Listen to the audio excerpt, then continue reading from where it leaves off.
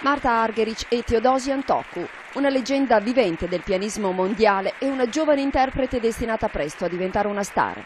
Il Festival Pianistico Internazionale, al secondo appuntamento in cartellone, ha marcato un nuovo grande successo, portando dunque sul palcoscenico l'inarrivabile pianista argentina che in gioventù fu allieva da Arturo Benedetti Michelangeli e la giovane pianista greca che nella Argerich ha trovato da alcuni anni un'amica e un punto di riferimento artistico. Al loro fianco la filarmonica del festival guidata da Piercarlo Orizio, che è anche direttore artistico della manifestazione. Ed è stata Teodosia Antocco a salire per prima sul palco davanti al pubblico da tutto esaurito ed a offrire una brillante esecuzione del concerto numero 2 di Shostakovich, nel corso della quale ha dato saggio di padronanza tecnica e personalità.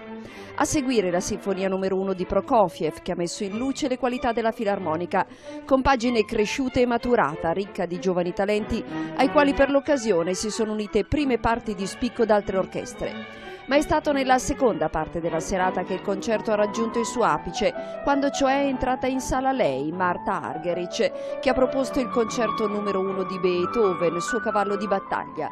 Camicetta nera, gonna fiori e lunga chioma argentata, fedele al suo personaggio, la Argerich ha immediatamente stregato gli appassionati. Bravura stellare, capacità di dare significato e propria personalità ad ogni tasto sfiorato, sensibilità assoluta, la straordinaria pianista ha travolto gli ascoltatori con un'interpretazione magistrale.